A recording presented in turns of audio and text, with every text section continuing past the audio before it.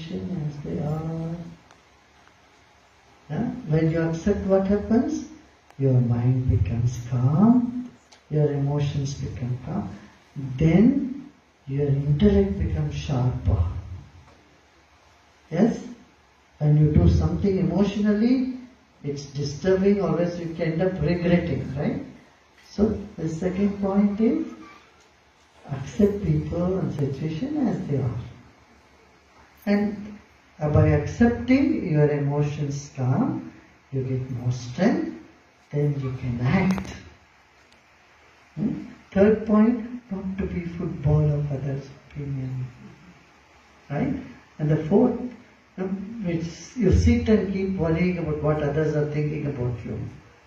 Anyway, people will think good about you or bad about you, isn't it? And how long does it last? Some people think good about you. Afterwards, they think bad about you, isn't it? Doesn't this happen? Your friends have turned to be your enemy, and many times enemies have become your friends.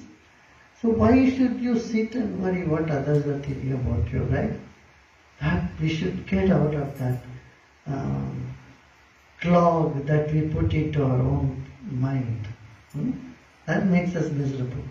Don't be football of others' opinion. Fourth point is not to see intention behind others' mistake. Like you want others to forgive if you have done a mistake. You don't want people to gallop on that all the time, right? You want them to forgive and forget and move on. Right? How can you do that when you don't see intention behind others' mistake? Like mistakes have happened to you.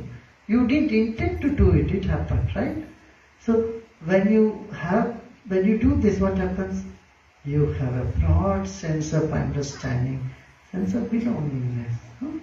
Fifth point, live in the present moment.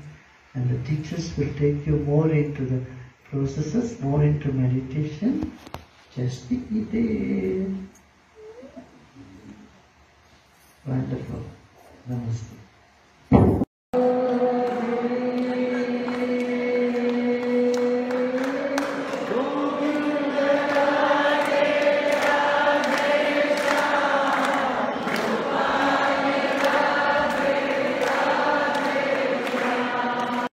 भगवान कितने बेवकूफ़ है।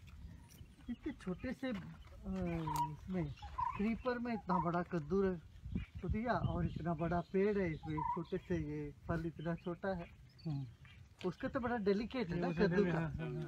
तो थोड़ी देर में क्या हुआ ये ये इसके सिर पे गिरा। ये।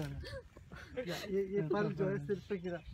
तो बोला भगवान तो बुद्धिमान है।